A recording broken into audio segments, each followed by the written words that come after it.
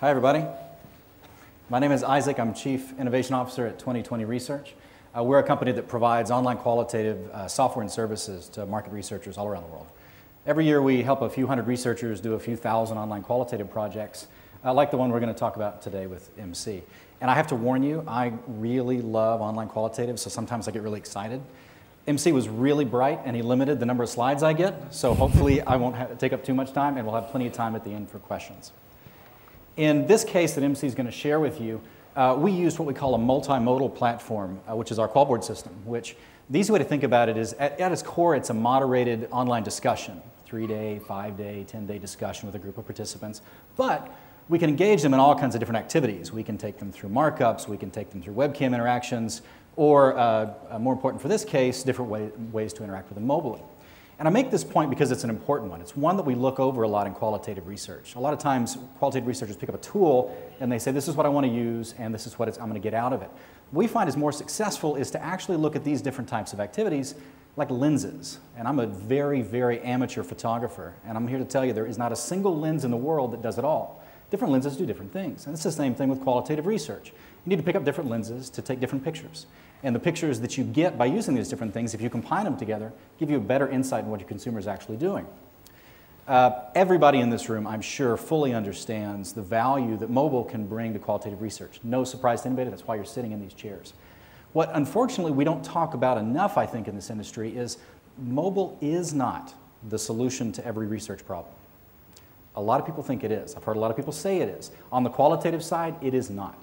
It is a great, wonderful tool that can take our research places it could never go before, but it is just another lens. Now, what MC is going to tell you about is how he combined this really powerful lens that gives us in the moment individual insights, and he added that into an online discussion so that we got reported behavior and actual behavior and an opportunity to discuss those things in between. MC? Right. Hi everyone, uh, my name is MC. I lead the qual team for Ipsos in Malaysia. So um, I think Ipsos has been working with 2020 for a long time. We've partnered together for many of our clients. So when this opportunity came out for this conference in KL, um, we were glad to be able to do this. In fact, for this particular case that we're going to share with you, we actually did an actual real life study um, just, just to show you in terms of how it worked, and specifically in Malaysia. So while we were sort of, um, I guess, brainstorming in terms of what should we um, do, what kind of topic, what kind of um, product should we basically base on, I think the first one that you saw earlier was on coffee. Um, we thought about that, but um, we also thought about what else can we do that usually will be quite different between claim consumption versus actual behavior. So what we then specifically came out was um, talking about alcohol, everyone's favorite subject, right? So, and a lot of times I'm sure all of us think that we only had two drinks when we went out, but if you really count it, it would have been at least a dozen. So that, that was what, what got us started to, to look at alcohol as well in terms of a, a, a subject. And plus, um, I do work with a lot of these, um, I guess, the beer boys and so on. So that helps as well in terms of um, showcasing this kind of technology. Yeah. So we selected alcohol. Um, we wanted to understand in terms of how, um, in terms of behavior, in terms of actual consumption, would be different um, if we just use traditional um, focus group where we ask people to recall, which is what we have done quite a bit in the past, and versus using this mobile combining with online discussion, right? So we're going to share with you later on in terms of um, what we found out from this actual study as well, okay? Um, being a qualitative study, so we did it in a kind of small group. We had about 14 consumers um, within this age of 2029, which is perfect because these are the people who constantly looking at their phones every three seconds. And they are all basically smartphone users anyway. So it doesn't um, need them to learn anything new. It doesn't require to them to basically do anything that they don't already do. Yeah? Um, we basically told them, we give you a week. During this week, whenever you go out drinking, tell us uh, where you are, who you're with, what you're drinking, tell us what you're drinking specifically, and why. So it, it, it's, again, um, very interactive. It's something that's very fun for them to do. And like I said, they are already doing this a lot of times through Facebook, through Instagram, so on and so forth. So not an added effort for them to do things like that, right? So in terms of the approach itself, um, let me pass you back to Isaac, who will tell you specifically what we did. You. So, like I said, we employed a couple of different lenses or ways to view our participants. Uh, the first thing we did was kind of a think of it like a standard online discussion. It's standard for me, somebody in the audience may not know how these work, but it's like an online moderated discussion that MC can lead where we can ask a series of questions, get feedback about general drinking behaviors, um, uh, brands and preferences about product, uh, and it allows MC the ability to get to really what is their reported behavior. He asks how many times they drink, what beverages they drink. This is where he collected a lot of that data. The other lens we used was, uh, and by the way, the, the, last part you could do on a smartphone or a desktop or laptop. Uh, we were agnostic. Uh, sometimes we choose and we say we just want them to do one piece on the desktop or laptop and vice versa. Uh, the, the journals we did completely through the mobile devices. That's right, nobody, okay. Um, where we asked them a series of about six different types of questions whenever they consumed alcohol. Where are you? What promotions do you see? What choice did, did you make? And we encouraged them to upload pictures and video about those experiences as they did it. So this is not reported behavior, this is their observed behavior. This is actually what they're actually out there doing. Now, when we get the data back, uh, we, we call these live notes. And the researcher can look at uh, the date and time this occurred. Uh, we get full geolocation. Uh, if participants allow, 96% do. Uh, so we can see actually on a map where they were. We can see this is a promotional placard that tells the prices of the beers they were drinking. And they tell us all about what they were doing on a trip to Singapore. Now, this in and of itself, and being able to deliver this kind of data to clients and to researchers, I think is fantastic because it sets so much more context for this person's experience. I can see when, pretty early in the morning, I can see what they were doing, and I can see even the restaurant they were at. And that's data we really couldn't capture before. But I heard something really interesting on this panel uh, yesterday where the clients were talking a little bit about the authenticity or reliability of some of the data coming back, especially from quantitative participants. You know what? In qualitative research, we kind of look at it as a real advantage. We do a lot of studies where we screen people in and we want to know the right kind of people who buy the right kind of toothpaste in the right size tube and the right flavor. I have no idea what flavor toothpaste I buy, but by some chance I may get recruited into the wrong study because I said wintergreen and that turned out to be the real uh, study they were looking to do. That happens because consumers aren't really good at knowing things like tiny details about brands and products.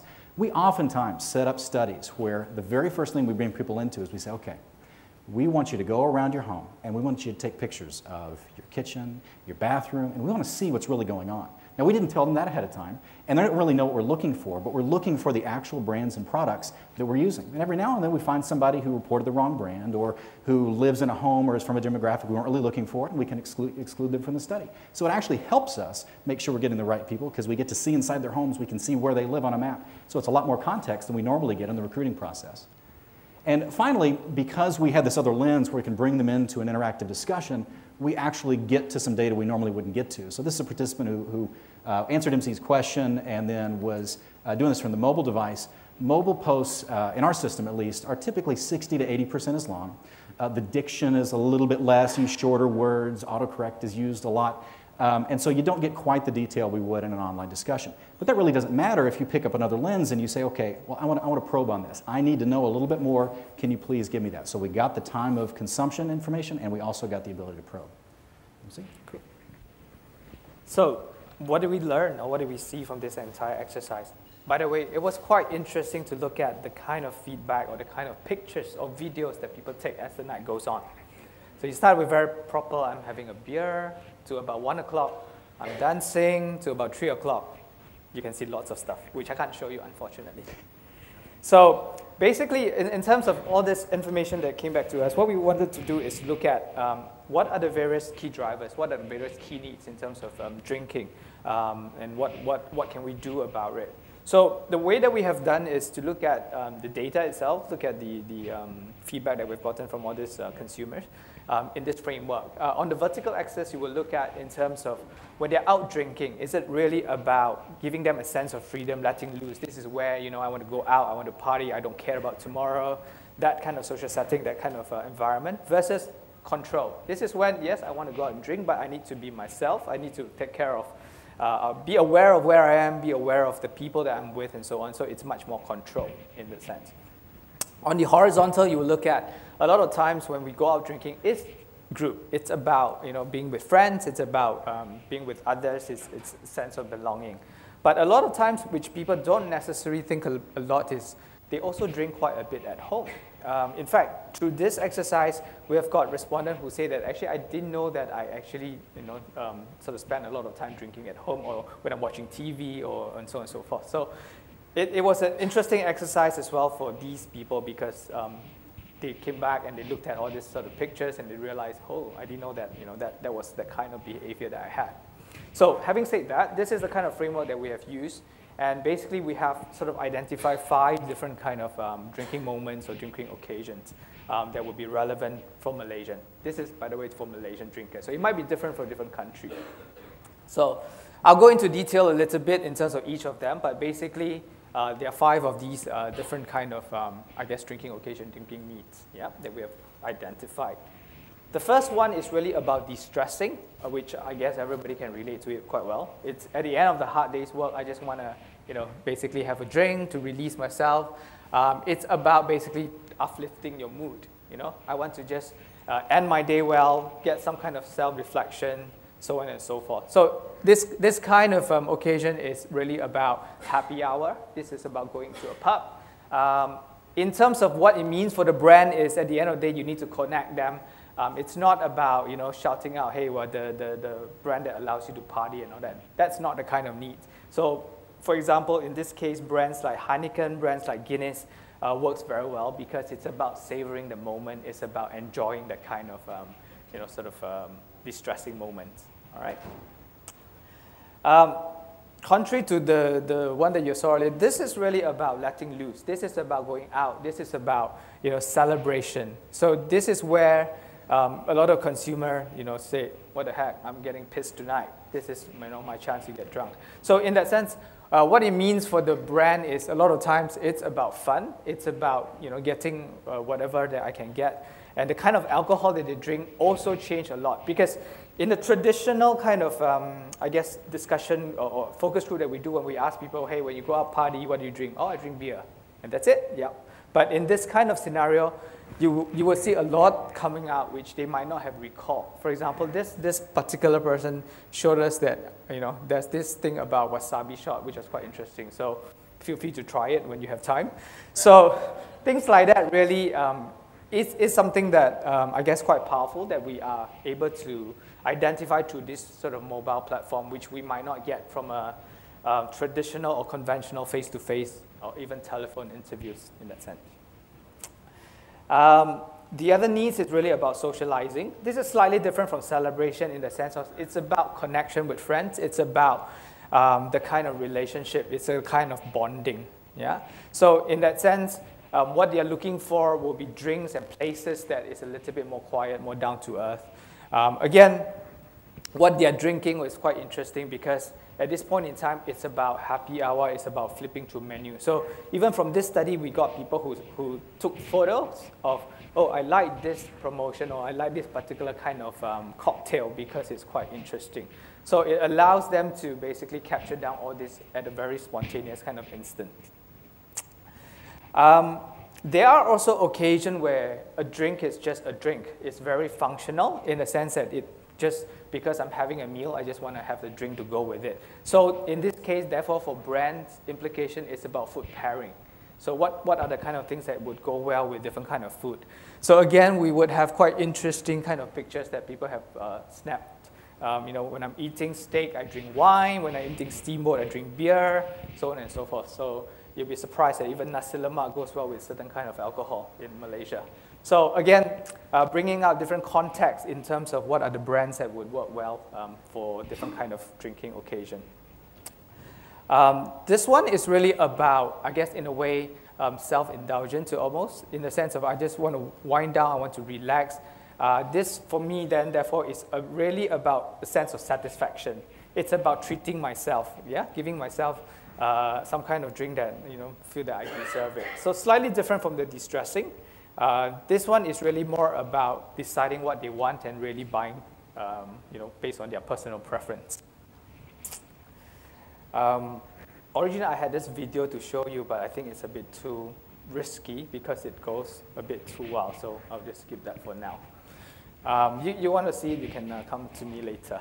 So what do we learn from all this entire exercise besides the learning that I've shared with you? Um, now, with, with Qual Mobile, um, basically allows us to validate what the respondents say before um, they go out drinking versus what actually happened. Because a lot of times, they might tell us, I'm going out tonight, um, uh, just going to be a quiet night, just with friends. But then again, when you see what they post, what they come back with, it's totally different. Yeah, so it allows you to basically, um, based on that, understand what drives it, what are the critical moments that might have changed that kind of behavior. Yeah. And the spontaneous moments are very much captured through live note journals. Uh, video is great, pictures is great, even just words is great because it allows us to basically then combine those two and basically explore with the consumers. Yeah? So at the end of the day, we could basically identify what they thought happened versus what actually took place at the end of the day. All right? And I guess the last point is through this exercise, it makes consumer research more fun as well. Because all this while, consumer has been, I guess, a little bit tired and um, feel that it's the same old thing. I come to your office, I sit down two hours and start chatting. So with this, it allows them to, like I said, it's, it's not something that they are not already doing. So it's sort of built on onto what they are already doing and it's fun for them. So it helps in that sense for us to recruit the kind of right profile of people we want as well. All right? And I think that's it any questions? Thank you very much. Yes, we've got.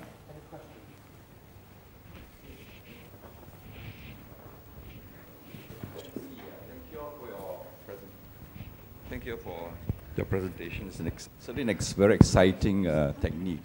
Uh, two questions. One is uh, the moderators that's involved in this project, uh, how different would be the skill sets from a traditional focus group moderator. Mm. Right? Uh, second question is, in Malaysia, we know that uh, you usually pay, respond, pay respondents. Uh, is the fee different from this one? Okay. Is it more, lower? Or, yeah. Thank you. Okay. Um, in terms of the moderator skill, it's not that different because it's, it's the, the platform or the technique allows you to collect the data, but in terms of how you analyze it, it's still going to be similar, except now you have more things to play with, if I can put it in that context.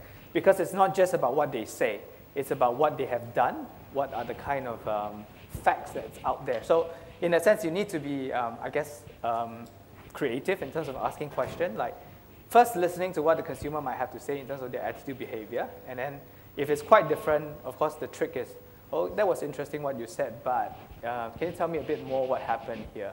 So I wouldn't say that it's that different as a probing skill, but it's just that. You know, it allows you to have more um, data or more tools to play with to, to understand the consumer behavior. Right.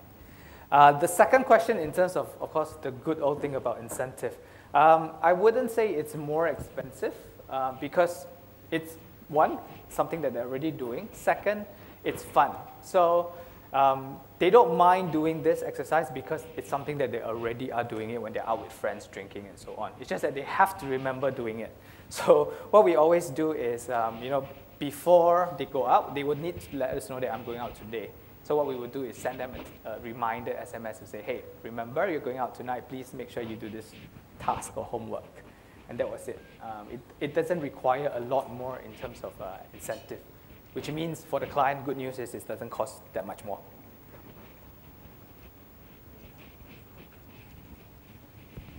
Hi, uh, Michael from uh, Acorn.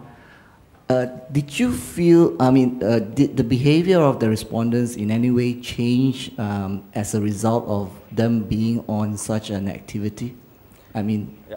yeah. Did you did you find that any of them, um, or did you suspect that any of them changed their behavior as a result of being a participant in such an activity which was exciting to them? Okay.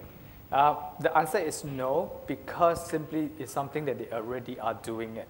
If it's something new totally, in terms of using mobile phone to take photo or you know, going out with friends to take photo, it might change their, their behavior in the sense, hey, let's go out tonight. I have this mobile phone that's new. I can go out and change and do. But it is something that is already part of their life. So that works quite well. So in that sense, the data kind of reflect that as well.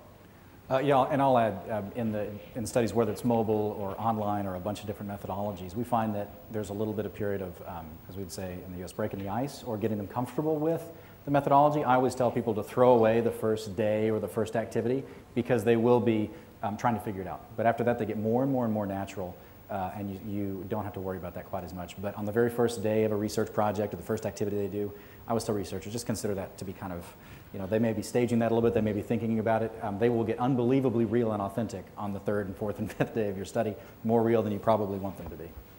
Uh, Julius? uh, uh, Julius from uh, Acorn. Hi. Uh, just out of curiosity, what happened after the second ring?